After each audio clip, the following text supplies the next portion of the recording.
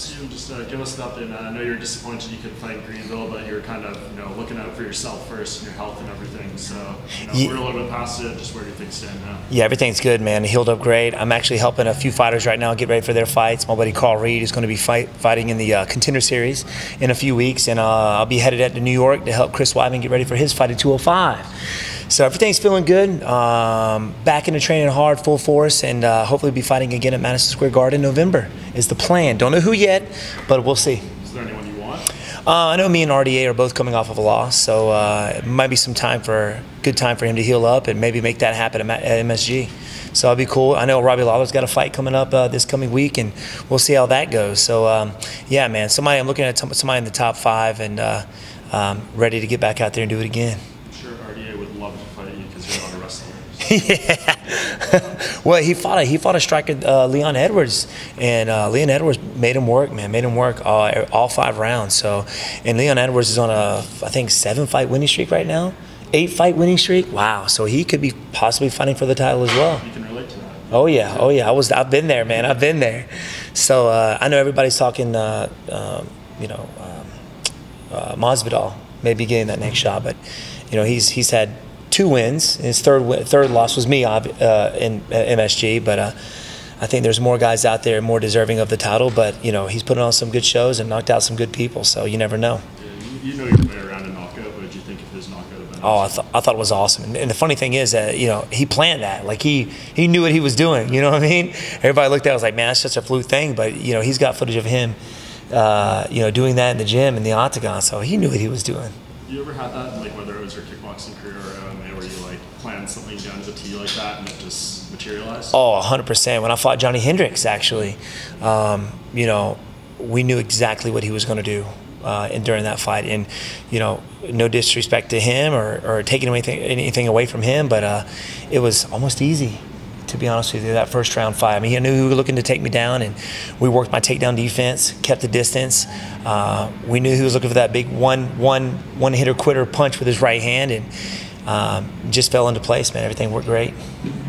Uh, so you said you didn't think uh, Jorge Masvidal might not deserve the title. You said, or might not be the most deserving. Who do you think would be some of the most deserving? Uh, right now, obviously, Leon Edwards. I mean, he's on an eight-fight winning streak. Uh, he's doing very well in the division. So I think at the top, maybe him. I mean, under him could be Masvidal because he's got some great, you know, knockouts of some good fighters. So, uh, you know, it really depends on what the UFC and the fans want. You know, and the UFC is kind of going towards of what the fans want nowadays. So it could be Masvidal, but I think uh, Leon Edwards has definitely proven he deserves uh, a shot at the title. So what, what would you say if you're Colby Covington, who was the interim champion, and now he's fighting Robbie Lawler, and he wins, and he might not get that title shot again? Well, yeah, there was there was like a uh, you know, um, the the the welterweight division was kind of stagnant there for a little bit because we didn't know who was going to get the next shot. It was kind of boring the what the division really because everybody's kind of there was a holdup. Nobody knew if Robbie was going. to I mean, um, Colby Covington was getting it. If it was going to be Usman. Now there is a new champion, and uh, you know the wel- the welterweight division is kind of coming up now, but. Uh, he's got. I don't know, man. I don't know what the whole deal was with him fighting for the for the title. I don't know if he was if he was ready for it. I don't know all the ins and outs, but uh, you know, if he goes out there and does work uh, against Lawler, he he'll get he'll definitely. I, I expect he'll get the shot. So uh, yeah, we, we we'll see next Saturday. What do you think uh, Ben Askren's position is in the division? Obviously, that was a pretty devastating loss. Yeah. Um, what do you think he goes for? I don't know. I mean, I think he's ranked number ten or eleven right now. He got bumped down.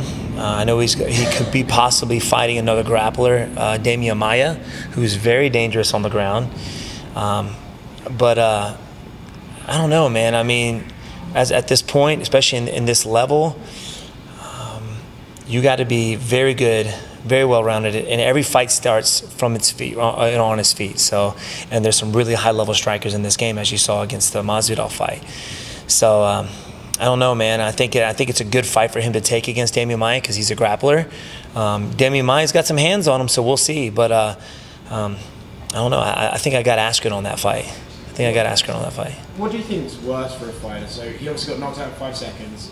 Thing goes viral. Everyone sees it, but he didn't necessarily show anything. He's lost any step, or whatever. Is it worse to lose that quickly, or worse to be beaten up for like 14 minutes and then finish? That's a very good question. Very good question. Um, I think for me, it was worse with the, the the the quick one. You know, my last fight with Pettis, I got knocked out in the second round, even though I was winning the fight. Um, I would rather have lost going all three rounds and, and have my opponent just outwork me, knowing that I was 100%. You know, I want my opponent, if they're going to win, I'm going to be at 100%, uh, you know, giving it my all. The last fight, it was just one of those fluke shots, you know, and that could happen in, in, with anybody in the division or in this game, you know, as you know. That's what makes this game so exciting. So for me, I would rather lose like just getting just getting smoked. You know what I mean? Not getting knocked out, knowing that you were winning. You know that you you know. Um, that's just me, man. What do you think of how Askren handled that whole situation after that? Definitely a pro, man. Definitely a. Uh, uh, I think he, I think he took that loss like a champ. You know, he. Uh, he knew what his flaws were. He knew he got knocked out, and he wasn't making any excuses at all. So my hat goes off to him for that, for sure. I mean, he, he took that loss like a champion. So in my eyes, he did the right thing. You mentioned Edwards as being deserving of potential of a title shot, 8-0 streak. Um, do you feel like it's a little bit overlooked, maybe because he fought so much in the UK for so long? Maybe I think so. Um, I mean, he's he's definitely defeated some really tough dudes in the division. Um, you know, I think his his most um, awarding one was was definitely this last fight against RDA, who was a top ranked guy.